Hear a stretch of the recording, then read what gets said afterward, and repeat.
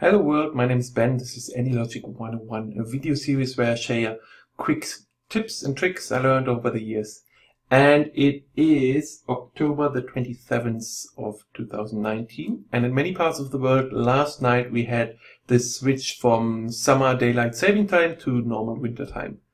Um, and that can be a problem in your AnyLogic models.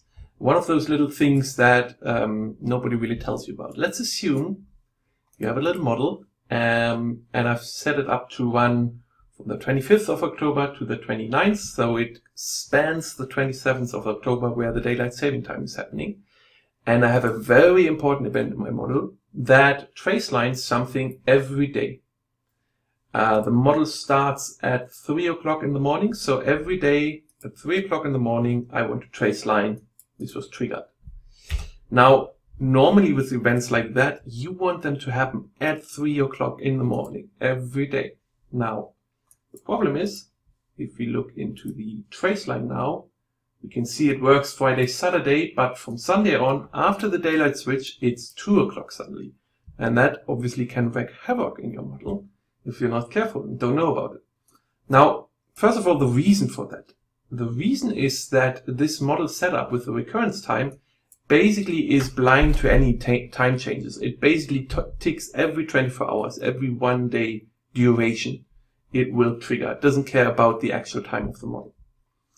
But luckily, if you want to use the actual time and say it should happen at 3 o'clock, there is a simple fix to that. So let's activate this slightly longer named event. Event accounting for daylight saving time. I set it up exactly the same way. It should traceline something, but the recurrence time, I use this function to timeout in calendar with an argument of a one day duration. So let's look at what that's supposed to do. It returns a timeout and model time units equal to the amount we're giving, one day. Uh, note that the result also depends on the current model date. So it takes into account not only daylight saving time, but also leap years even leap seconds. So whatever official time is out there, it will account for that. So now I'm saying exactly at 3 o'clock, uh, 3 a.m. every day in the model, please trigger this. So let's ignore the other guy so we don't get swamped with trace lines. Let's start the model again.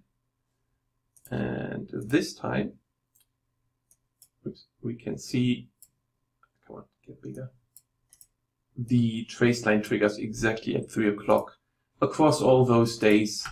Um, and it accounts for the daylight saving time. It will do the same again when the daylight saving time switches on again in March. So it's always going to be 3 o'clock. So be mindful of that. Um, and remember that little function and be mindful of absolute and relative timing in, in AnyLogic. I hope that was helpful. Thanks a lot.